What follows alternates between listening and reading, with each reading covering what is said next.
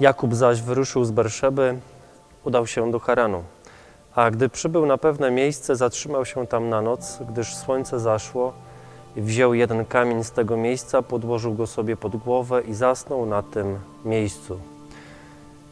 Znana wszystkim jest nam historia ucieczki Jakuba z domu po uzbrojonym konflikcie rodzinnym, gdzie Jakub, myślę, że dobrze powiem, kradnie błogosławieństwo ojca swojemu bratu. To błogosławieństwo należało do Ezawa, było jego wyłącznością. Natomiast Jakub na wniosek czy intrygę swojej mamy Rebeki knuje intrygę i wyłudza to błogosławieństwo. W tym momencie Noemi dzieje się tak, że Ezaf pała chęcią mordu na swoim bracie, dlatego że Jakub zabiera Ezawowi coś bardzo ważnego błogosławieństwo Boga. Drodzy, jest to historia w tym momencie zaczynająca samotność Jakuba, jego wędrówkę. Chciałbym też powiedzieć może przygody, lecz jego przeszkody w życiu. Kiedy Jakub już jest osamotniony, jest w drodze do Haranu, kładzie pod głowę kamień i zasypia. I tutaj jest ten słynny sen. I śniło mu się, że była ustawiona na ziemi drabina, której szczyt sięgał nieba.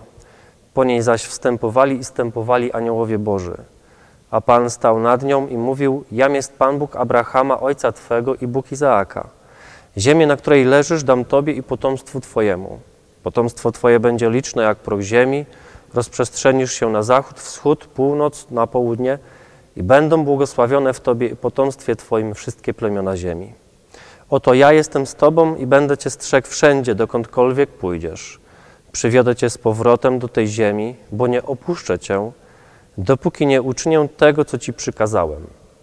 A gdy Jakub się obudził ze snu, rzekł, zaprawdę Pan jest na tym miejscu, a ja nie wiedziałem. Zdjęty trwogą rzekł, jakimże lękiem napawa to miejsce. Nic tu innego, tylko dom Boży i brama do nieba. I wstawszy wcześnie rano, wziął Jakub ów kamień, który sobie podłożył pod głowę, postawił go jako pomnik i nalał oliwy na jego wierzch i nazwał to miejsce Betel.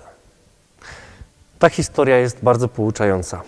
Mimo tego, że Jakub jest samotny, znajduje Pana Boga, bo tylko w tym momencie i w tym momencie jego życia może na niego liczyć. Pan Bóg tej historii później obraca zło w dobro.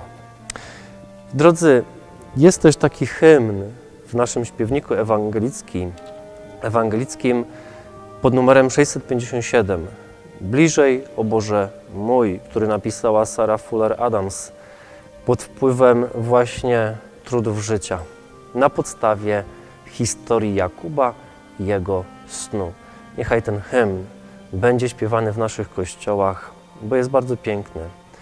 Noemi, ja poproszę Cię, abyś Ty odczytała drugą zwrotkę tej pieśni. Gdy mnie w pielgrzymce noc położy, snem i tylko będzie głazem. We zgłowie mym daj, by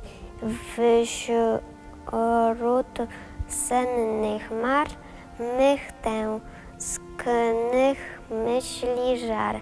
Do Ciebie, Boże, mój ulatał wzwyż.